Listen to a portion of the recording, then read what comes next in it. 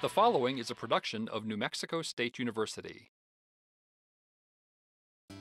Carol Stuttard's Phoenix Garden includes plants from other countries along with southwestern natives. Hi, Carol. Hi, Curtis. I know I'm in a desert here. This garden, though, is a living desert. Were these plants all here when you came? No, this garden did not look like this at all two and a half years ago. Um, for instance, in the front here, in, beside these pillars, we had two L-shaped concrete planters, which as far as I'm concerned are just ovens for plants. Mm. So in the fall, my husband and I smashed them to pieces, took out the soil, and we had somebody build us this very nice wall, which is an anomaly really because you would think a wall would make a garden look smaller but in actual fact it's done the complete opposite. It makes the whole garden look bigger in the front and defines the space. It's very expansive looking. And the plants, they're growing so well. Do you have to irrigate?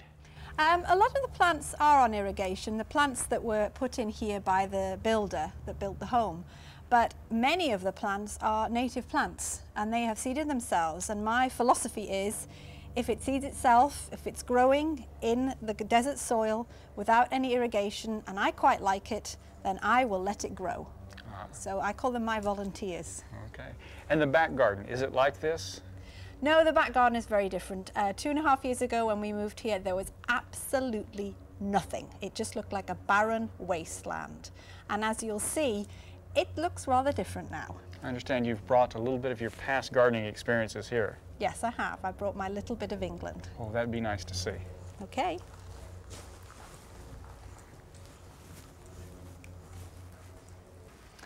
And this is my little bit of England, Curtis. It's very pretty. This is something that you would find in England? Yes, the roses, the daylilies, the iris, the sweet williams, they're all reminiscent of my English heritage. And then I brought the sundial with me and that gives it this European feeling here. This is a small garden, but it really does have that feel. Yeah, it does.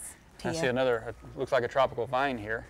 This is a snail vine, which is an anomaly really because it's does, it isn't a snail like in its growth. It grows about one to two foot a week and I just keep it pruned back in the winter to allow the sun to go in and in the summer I let it drop down and it shades my bedroom and helps with our air conditioning bills. So that's a good thing to do. So understand you're growing in Arizona, so you need shade. Oh, absolutely. See, we've got a nice pathway here, very pleasant looking. Yes, it's a nice meandering path that takes you around the roses. I see many, many beautiful plants. In other parts of the garden, do you have other plants from other areas? Yes, I do. I have plants from Australia because they are quite drought tolerant and they do well. Let's go see those. Okay.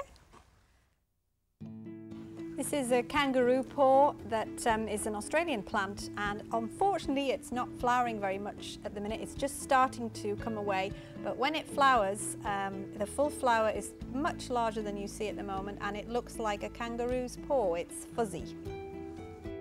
Um, this tree, I wanted to put a tree here that would look like a desert tree so it blended with my view across into the desert but I didn't want to put another Palo Verde in here.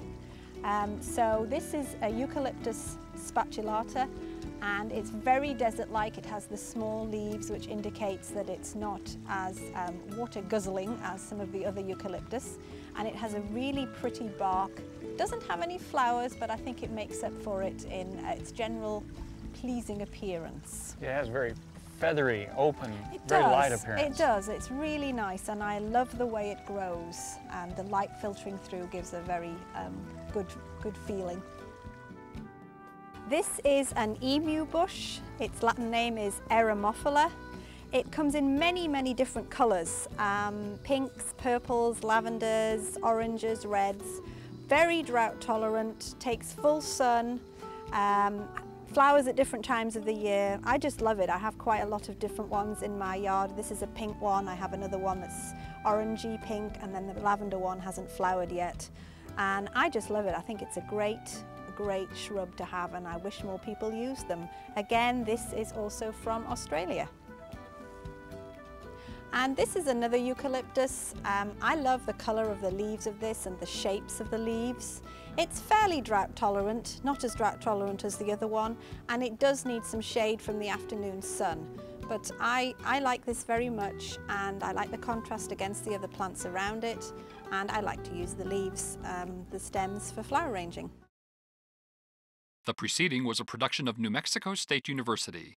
The views and opinions in this program are those of the author and do not necessarily represent the views and opinions of the NMSU Board of Regents.